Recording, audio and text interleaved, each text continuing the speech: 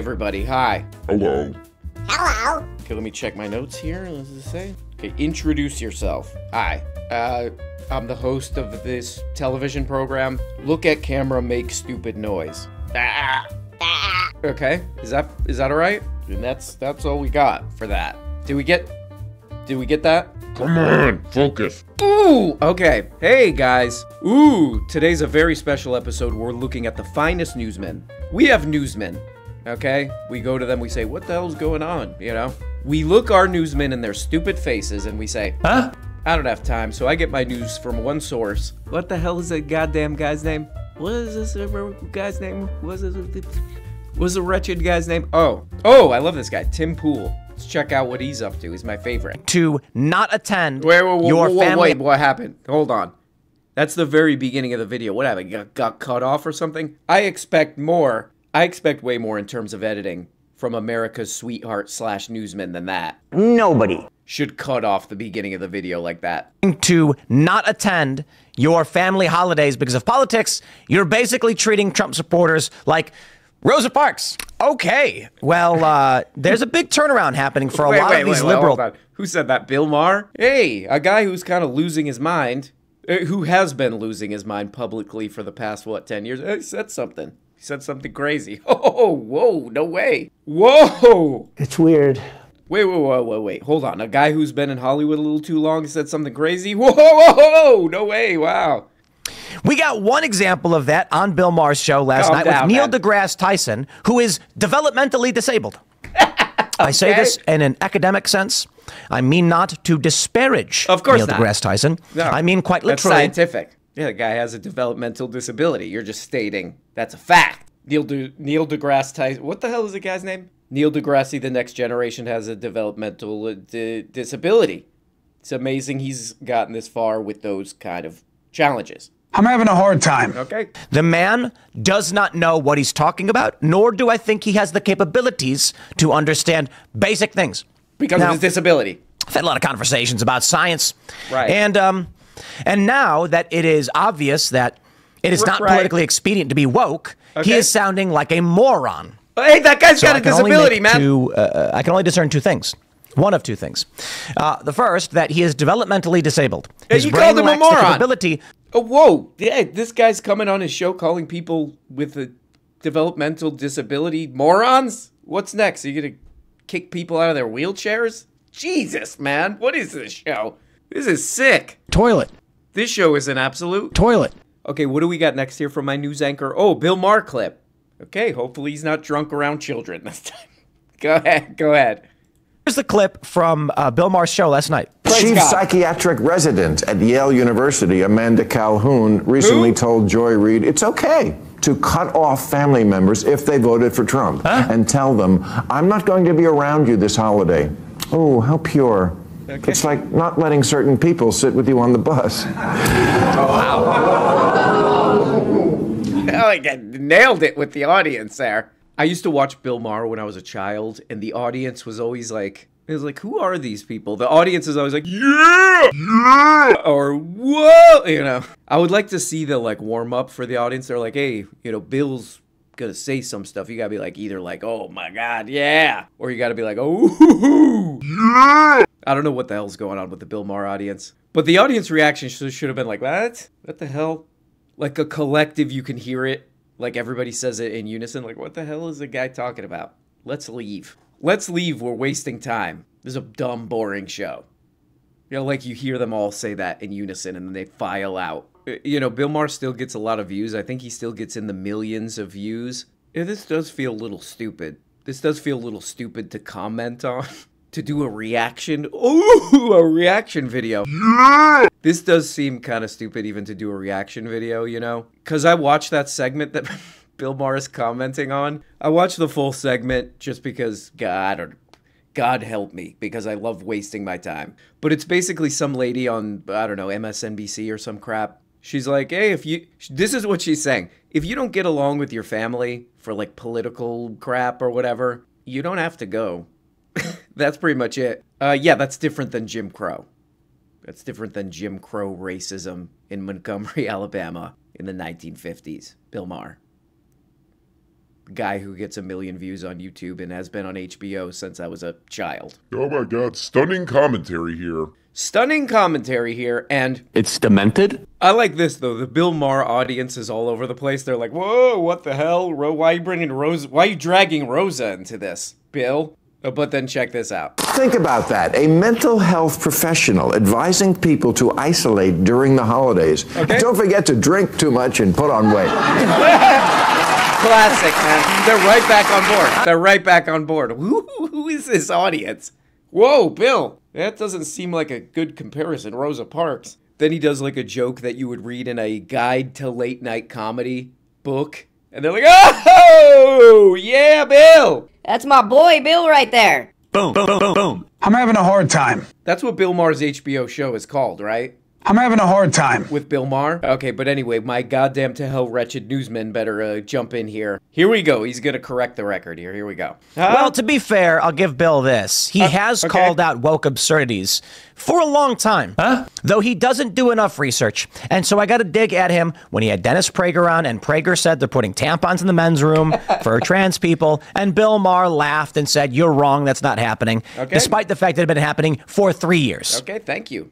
Thank you for correcting the insane thing that Bill Maher said. How about we entertain some science? Calm your ass me play down. this. Uh, uh, actually, should I play the clip from the show first? Do I have a? I have this right here. Hey, whoa, whoa, whoa, whoa, whoa. Hey, hey, That's the kind of thing you should prepare before you start recording. Goddamn you to hell again. This is. Uh, I think I have two clips actually. Do we have two? Yeah, just play Here we one. go. Let me play this clip with. Just pick uh, one, oh, goddamn. this is- magazine. I remember when it was around when I, I was up with Here we go. Scientific in America. Scientific America. Uh-huh. The Never heard of magazine. it. I remember when it was around when I, I was grew up with it, yeah. Grew up with it. Yeah. Nerd. Okay. Well, their editor had to quit. Oh, You saw this. Yeah, I, I, I heard about it because she expressed some opinions. Right. think about it every yeah. day.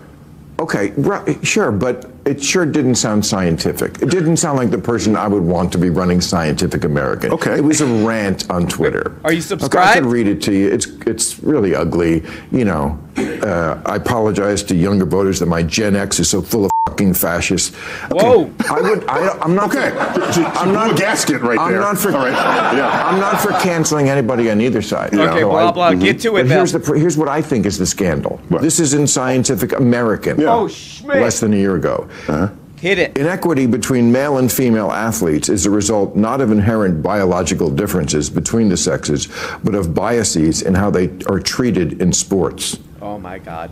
That's nuts. Whoa. and it sure ain't scientific, and it's in Scientific American. Yep. That's And sick. that's why the Democrats lost the election. it's true. It is. Whoa. It's not the only reason. Okay. Um, and so Bill's being a bit hyperbolic, but uh, let's see if I can pull this pull this up from the Wall Street Journal. Okay. Transgender sports and Again, Bill, you know, why not take a couple minutes, pull this up before you start recording? Again. Okay, this is kind of just a fun. Ooh. This is kind of a just a fun little fact check that we'll do here, you know what I mean? Because the thing about like Scientific American, no one's reading that crap. That's kind of how I see things. It's like, okay, there's two options I have. I could order from Wingstop or I could read an article. I'm going Wingstop every time. But uh, what I'm about to say should end Bill Maher's career. Bill Maher should retreat from public life after what I'm about to show you here. Uh, this is from an actually very interesting article in Scientific American because Bill Maher's whole thing is like Scientific American isn't scientific anymore. It's woke. It's woke. uh, read this article. It's actually pretty interesting. It's called The Theory That Men. What the hell is the goddamn thing called? The Theory That Men Evolved to Hunt and Women Evolved to Gather is wrong. Hey, shut the hell up, man. Huh? The influential idea that in the past men were hunters and women were not is is not sorry isn't supported by of the available evidence. Now this goofball Bill Maher, this is more of an example of like how our brains are using the internet, like the shallow stupidity we do on the oh this, I saw something. I saw something in a tweet.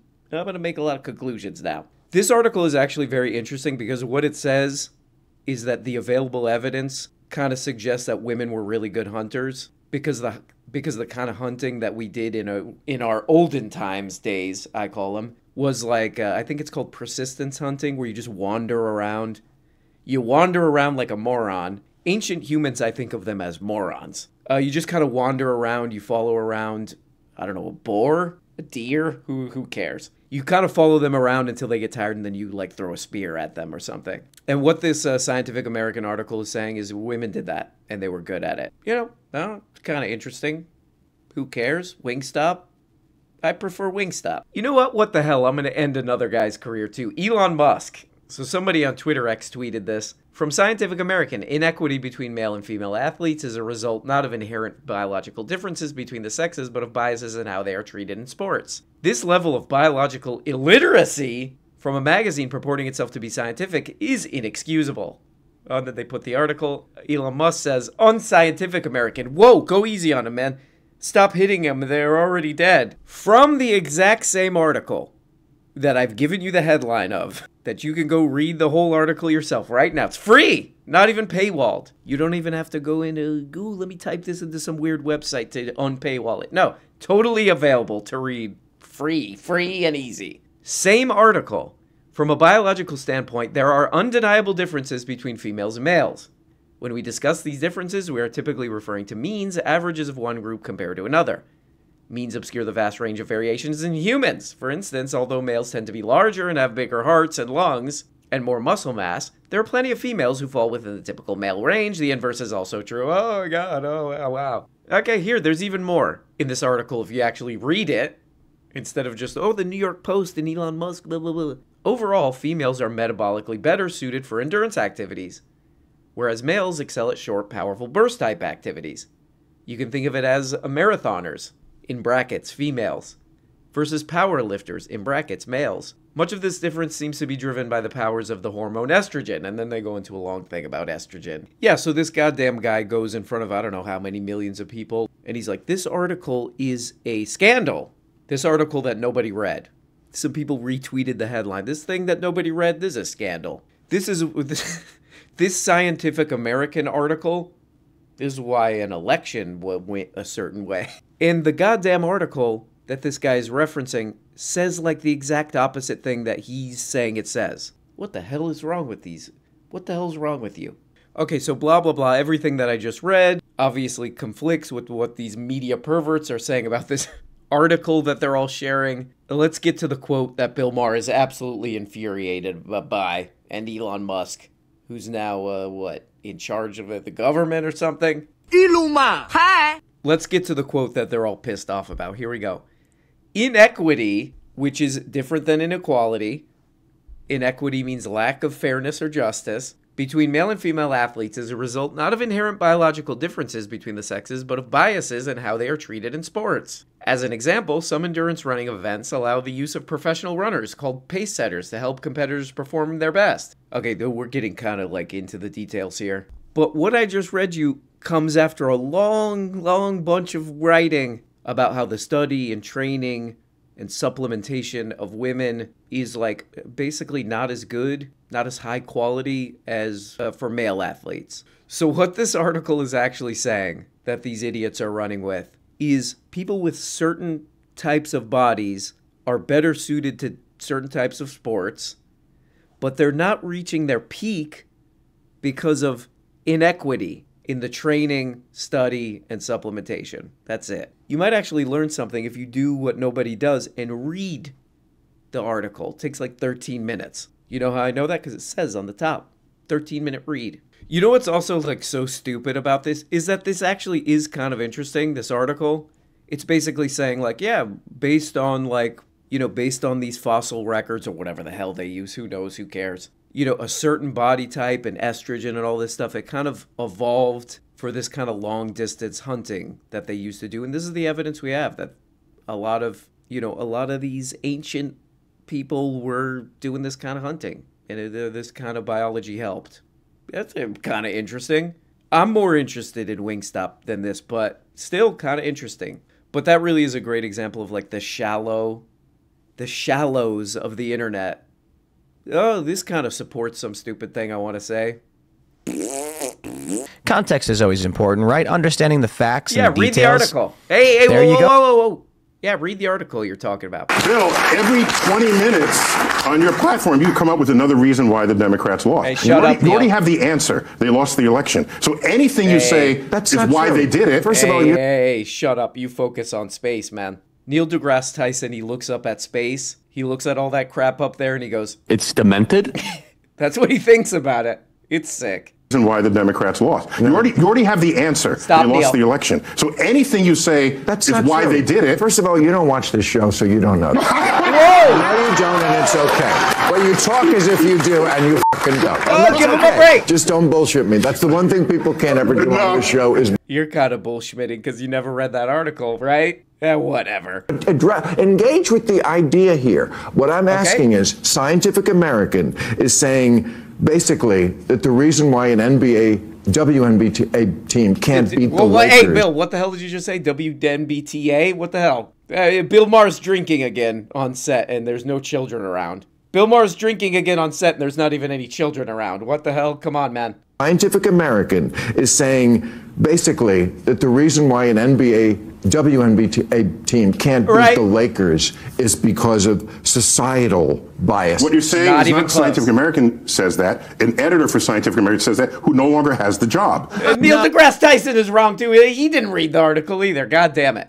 We're just in a hall of mirrors of nobody's willing to read a 13 minute article. Unbelievable. Goddamn them to hell. Oh, no, no, no. First of all, Bill Maher never said this was the same person. Maybe it Right. was. Secondly, you do not get to have an editor at Scientific American approve these things without people at the magazine knowing and publishing it. So don't indict Exactly. a 170 year old magazine because somebody. Okay, this is Scientific Somebody- American, because- and they're printing something Because someone enters the I'm so pissed off about what they're writing. Now, I'm not going to read the crap, but I'm pissed off at, about it. That's for sure. Anyway, I got to get the hell out of here.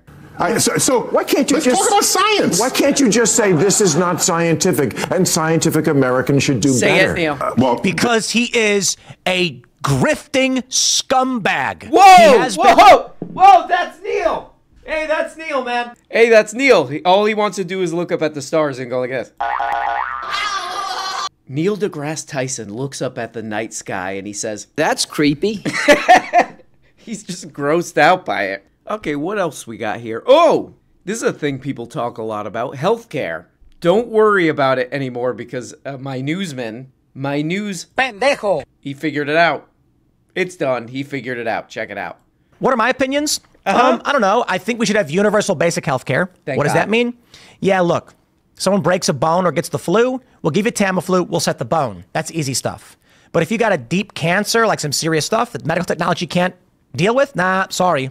So I think there's got to be a That's it. Okay, that's a pretty good plan. That's a that is a, that is a good plan. Healthcare for all, except those who need it the most. I guess that's a pretty good. That's pretty good. I'd like to see a policy paper on that. You know, here's my healthcare plan. You know, we got research from all around the world, countries who have kind of figured out healthcare. But I got a better idea. You break a bone, you get a flu, we'll cover that. Anything else? Yeah, no. I'm calling it Medicare for. Huh? My plan is called Medicare for. Nobody. From Fox Business, huh? lifelong Jaguar customer troubled by baffling woke rebrand going in a very sad direction. Oh my, oh my God! A lifelong Jaguar owner is pissed off. Oh, that's the guy that I'm most worried about in the world. That's the Pendejo. that I'm most worried about. I've owned Jaguars my whole life. Wait, where are you going? What I really love about this commercial, if you guys haven't seen it, is Uh-huh. that it's, I don't know if it's so much as woke as it tries to be like futurist, postmodernist art style and just not Jaguar. So they've got Uh-huh. Okay. a bunch of different people wearing weird clothes with weird makeup and I guess no eyebrows. Some have eyebrows.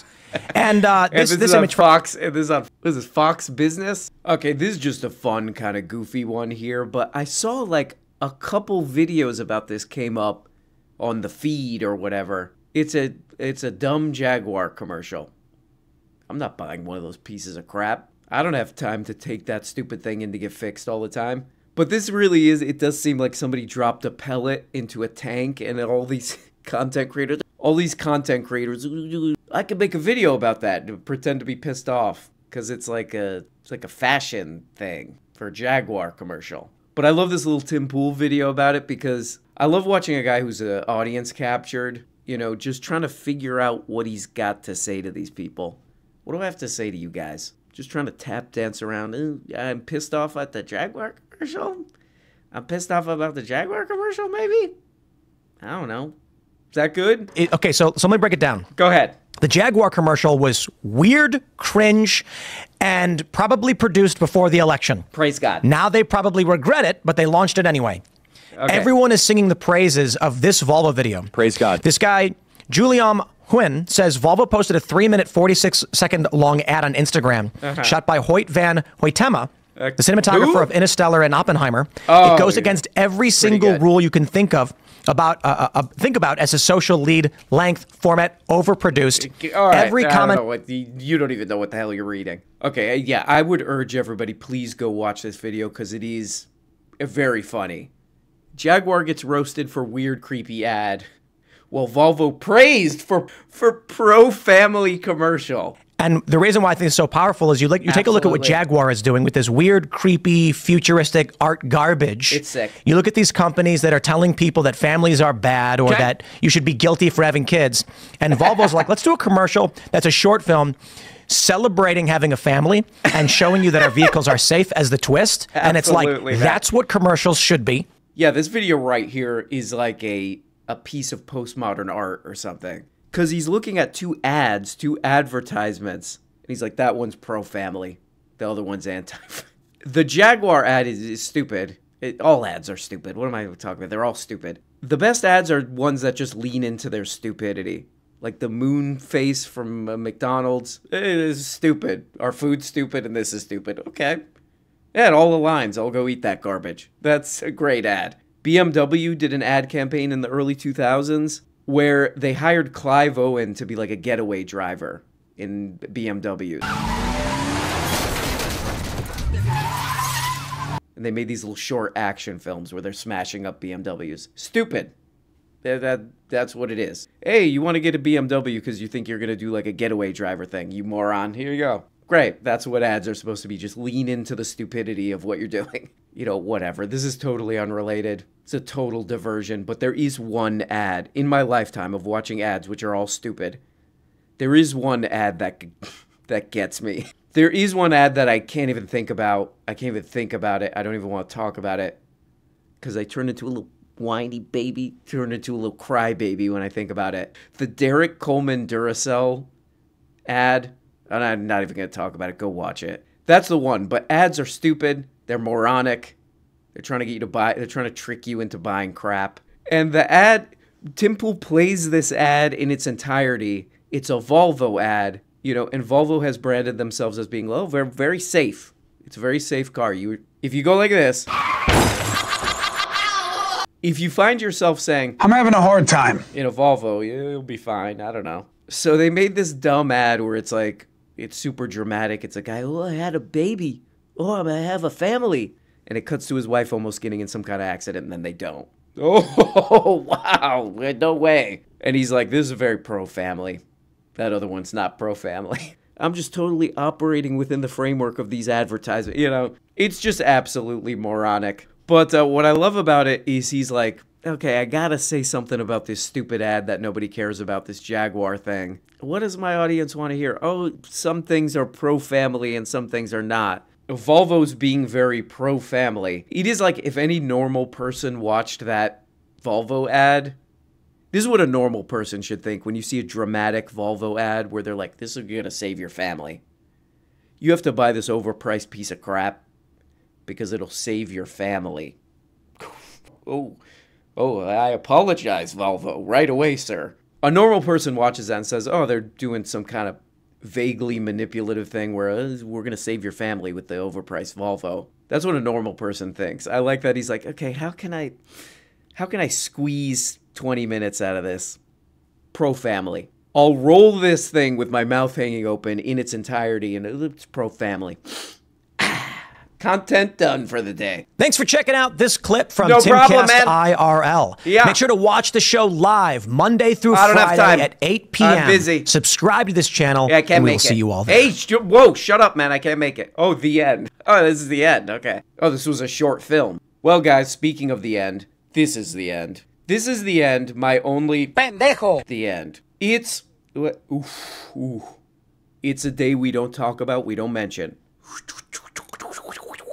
We don't talk about that. We avoid it. When it comes to Monday, we are anxious avoidant. Okay, I know about that.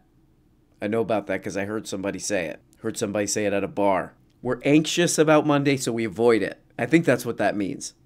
Psychological stuff. But hope you guys are doing great. If you want to tear up, go watch that Derek Coleman Duracell ad. God damn you, Duracell, you got me, you creeps. I'm not buying your batteries either way.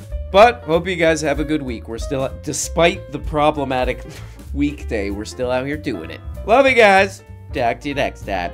Bye bye. Hey, my name's Ladron James. I do the outros around here. Okay? Got a problem with that? If you got a problem with that, take it up with somebody else or whatever. I don't know. There's probably a joke there, but I missed it.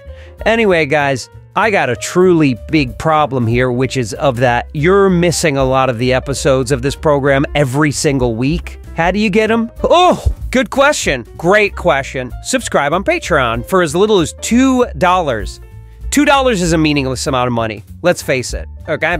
It's useless. But for that just nothing amount of money, you can become a subscriber on Patreon and get every episode. Get the link is in the description. All you gotta do is click in there, and that's it. There's oh my god. All, you get all the videos, patron only live streams, all this assorted crap. That's me, Ladron James, signing out. Bye bye.